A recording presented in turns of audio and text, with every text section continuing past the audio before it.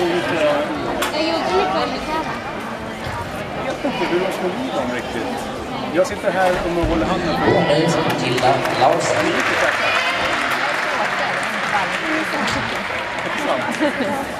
Och mat? Från ganska snart. Var maten god eller? Trevligt. Den här översiktshandlaren. Den vandrar ikväll. Med Matilda!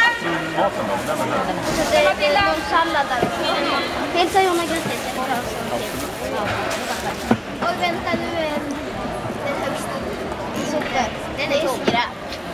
Men nu öppnar ner den så länge då. Men ni blir mätta. Okej, nu får vi sätta den.